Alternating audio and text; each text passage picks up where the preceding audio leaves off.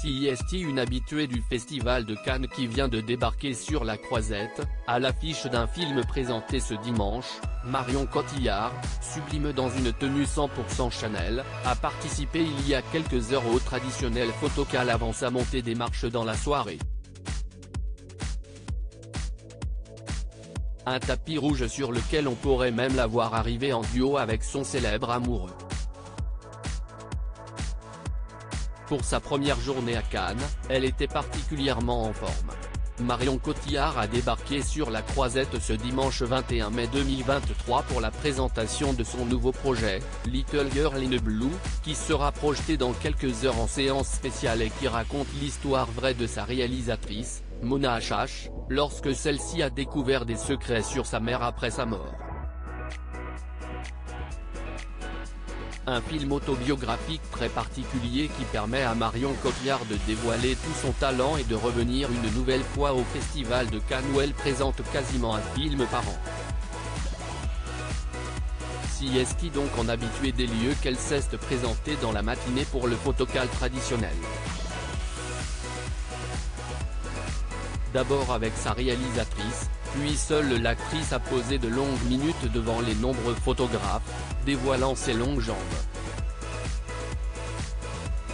En effet, pour l'occasion, elle avait choisi une tenue 100% Chanel, dont elle est l'égérie, et notamment un mini short en jandé l'avait associé à des bottines blanches et à un gilet rose pâle.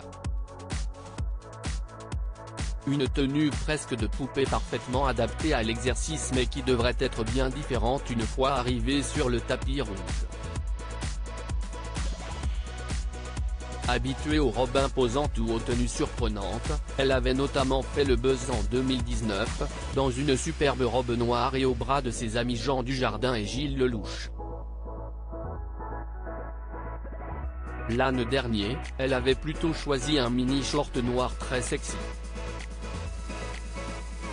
Montée des marches avec Guillaume Canet, à l'affiche du film Frères et sœurs d'Arnaud Desplechin, dans lequel elle jouait le rôle principal aux côtés d'un autre habitué des lieux, Melville Poupeau, elle avait beaucoup marqué les festivaliers. Et cette année devrait être tout aussi mémorable, en particulier parce qu'elle pourrait monter les marches en duo, et pas avec n'importe qui, son compagnon de longue date, Guillaume Canet, est également sur la croisette pour son film Acide, qui sera présenté ce soir, juste après Little Girl in Blue.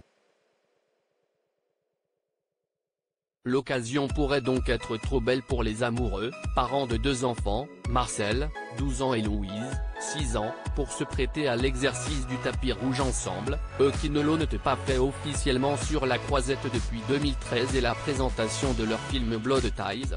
Pour le moment, cela reste une surprise, mais nul doute qu'ils sauront quoi qu'il arrive apprécier leur soirée canoise.